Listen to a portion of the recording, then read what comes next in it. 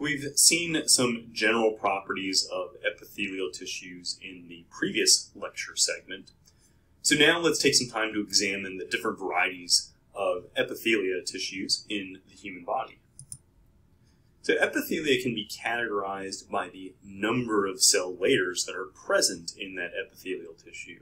Simple epithelia contain only one cell layer, meanwhile stratified epithelia have two or more cell layers present. They are also categorized and named by the shapes of the cells that are present in that epithelial tissue. Squamous epithelia contain flattened cells, cuboidal epithelia contain cube-shaped cells. So that is the height of the cell is equal to the width of the cell. And lastly, columnar epithelia contain column-shaped cells, which are taller than they are wide. There are four types of simple epithelia in the human body. They are the simple squamous epithelium, the simple cuboidal epithelium, the simple columnar epithelium, and finally the pseudostratified columnar epithelium.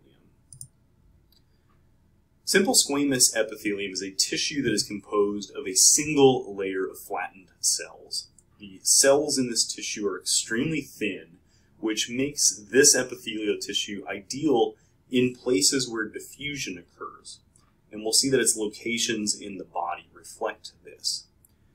So among other places, this tissue is found in the glomeruli of the kidney, which are the structures in the kidney where filtration of the blood occurs.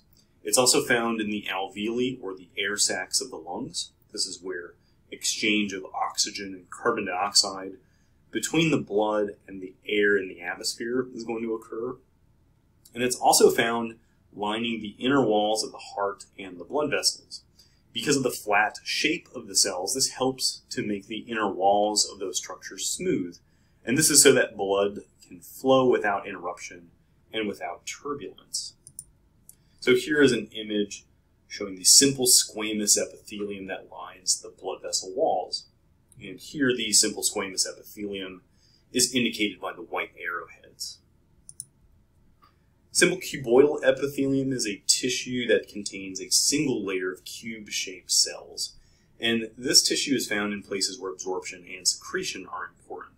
So for that reason, they are found in places like the kidney tubules, where these are the structures in the kidneys in which the body absorbs what it needs from the waste that will eventually become urine. It's also found in glands because these are the cells of the glands that produce the secretions of that particular gland.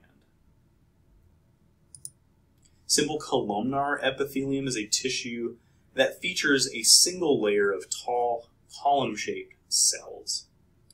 Simple columnar epithelia that don't have cilia will function in absorption and secretion and we see that they're primarily found in places where that occurs, such as the region of the digestive tract, beginning at the stomach, continuing through the intestines, and all the way to the last segment of the large intestine that's called the rectum. Simple columnar epithelia that contain cilia are found within the uterine tubes of the female reproductive system. Now, cilia are small hair-like extensions that are found at the apical surface of the simple columnar epithelium. And the cilia tend to move rhythmically, and in moving, they will move or pass substances or objects across the surface of the tissue. And in the uterine tubes, they function to move ovulated eggs through the uterine tubes to the uterus. And finally, we have pseudostratified columnar epithelium which is the last type of simple epithelium. It is a single layer of column-shaped cells.